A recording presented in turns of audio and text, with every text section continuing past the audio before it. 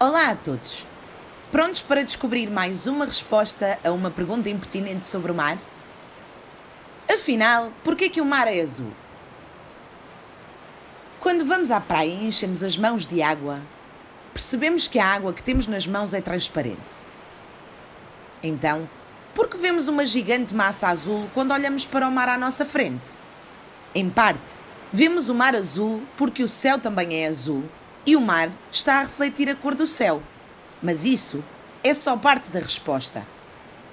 Quando a luz bate num objeto, pode atravessá-lo, pode ser absorvida ou pode ser refletida. A cor que vemos depende da cor que é refletida pelo objeto e que chega aos nossos olhos. Se um objeto é transparente, deixa passar a luz toda. Mas se um objeto absorve todas as cores, menos o vermelho, por sua vez é refletido até aos nossos olhos, então vemos o objeto vermelho. E o mesmo acontece com um objeto azul. Desta vez, todas as cores são absorvidas, exceto o azul, que é refletido.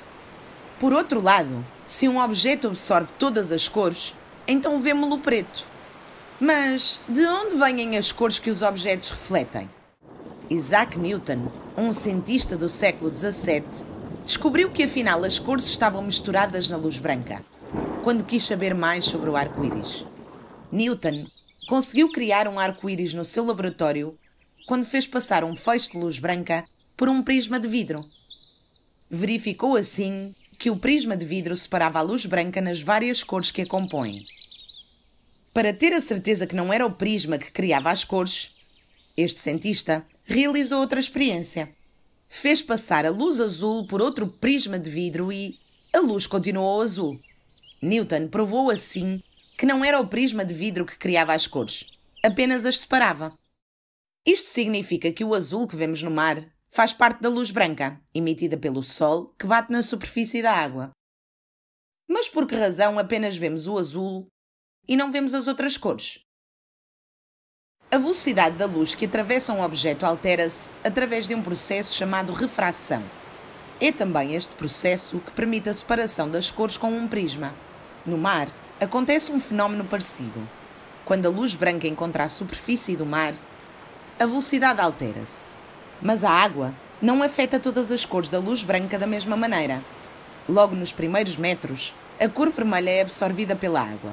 É como se não conseguisse descer mais, e por isso deixamos de conseguir ver essa cor. Depois, à medida que descemos, é a vez das cores amarela e laranja serem absorvidas. Já as cores azul, verde e violeta conseguem chegar mais fundo na coluna de água. Além disso, a água ajuda a espalhar e a misturar estas três cores, dando origem a uma cor azulada que chega aos nossos olhos. E é por isso que o mar nos parece azul. Vermos o mar azul é comum, mas pode haver momentos ou locais onde isso não acontece.